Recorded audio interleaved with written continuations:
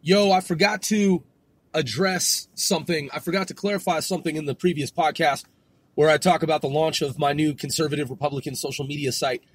So, by the way, thanks for tuning in. This is C4CW, casting 495 celebrities worldwide. And if you are a true fan of this show, I, we, 495, we most certainly appreciate you. Damn, she is smoking hot. Right here, babe. Right here. Right here. You and me together.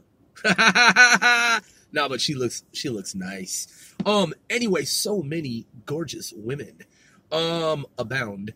But uh yeah, focused like a coherent beam of light, i.e. laser.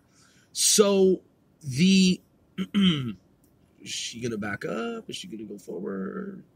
What is she attempting to do here? Maybe I can assist in some manner. At any rate, um yeah, baby girl, I'm checking you out. What's up?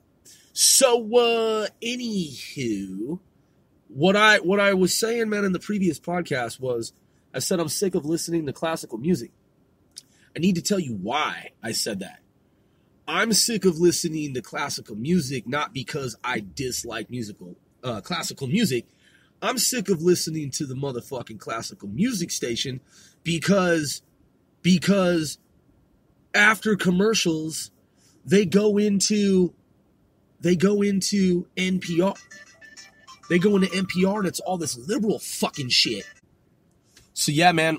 So what I was saying was that man, when you listen to the classical fucking station, dude, after the commercials, it's it's fucking NPR. It's just some liberal left-wing dem socialist commie shit. I mean, sometimes I listen to NPR, man, but when they start with the slant and the bent and it's like, all right, here goes the bias, totally left-wing fucking commie socialist shit. That's when I tune out, man. And and I'm sick and I'm sick of fuck, dude. I'm not fucking with NPR, man. I just I can't fuck with them anymore, dude. And and I'm tired of listening to classical, man, only to then later have to listen to fucking NPR. I'm tired of liberal fucking news. I'm tired of liberal media. I'm tired of the liberal narrative and the liberal fucking story. So I have tuned out. I listen solely, exclusively to conservative news media. Yeah, man. I'm just, I'm really fucking sick and tired, man, of having to hear the, about the Trump bashers and the never Trumpers and, and, and, and the story that Donald Trump is out of his mind and he's dangerous and he's psychotic and he's what is mentally ill and that he's a toddler in a grown man's body. I'm tired of hearing that shit from grown fucking people. These are the same fucking punks that wanted me to think that that that Obama was some type of messiah. These people are fucking fools. Okay? Very childlike, very immature, very fucking stupid. And the whole like relay, right? Like the relay shit where it's like one says it, then the next uh, network says it, and they keep fucking, you know, ping pong, you know, and like, you know, pinballing the fucking little whatever it's called in the in the in the matrix. They just keep passing that shit along. Yeah, Donald Trump something, and then the Donald Trump, and then the Donald Trump, and fuck Donald Trump, and you know, impeachment inquiry and impeachment inquiry. It's like, man, fuck you guys for real. Like, fuck you guys for real. I'm tired of hearing your fucking nonsense. Donald Trump will not be impeached. It's a huge waste of time for you to even think that he's going to be impeached. You thought that Hillary Clinton was going to win 2016. She didn't.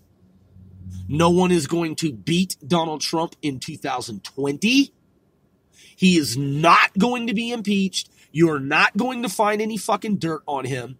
And there is no cover up. These are all invented stories by stupid as fuck, childish, immature people like Nancy Pelosi and the squad and all of their cronies and Dianne Feinstein and all these fucking morons. It's all contrived.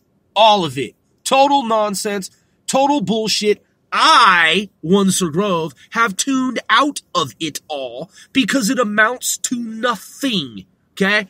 I'm not part of your fucking camp. I'm not part of your band camp. I'm not part of your fucking stupid clique. And I don't want to listen to your stories. They're fucking fables, fish tales, tall tales, fairy fucking tales. It's all just a bunch of BS. And I won't have anything to do with it. You know why? Because I'm a winner and I'm on the fucking winning team. Donald Trump wins 2020. And don't pretend this time like it's a great upset and you didn't fucking see it coming and you had no fucking idea that Donald Trump was going to win. We've been telling you and saying it all along.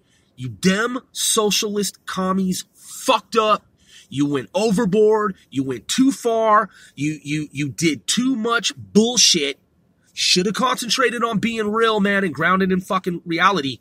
Should have kept Donald Trump's motherfucking name out your mouths, basically, and just talked about how you were going to fix the economy and, you know, overtax people and taxes, taxes, taxes, more taxes, bigger government, bigger government, bigger government. Yeah, take the weapons, take the guns, seize the guns, seize the guns. Yeah, you should have just worked more on that. Yeah, because that's all you talk about. And and and we live now in an America that mostly mostly disapproves of your fucking narrative. Have you have, have you not figured that out yet? Have you not figured that out? It's unappealing. Hello, hello. Okay, now go back to your Trump bashing. Have a nice fucking day.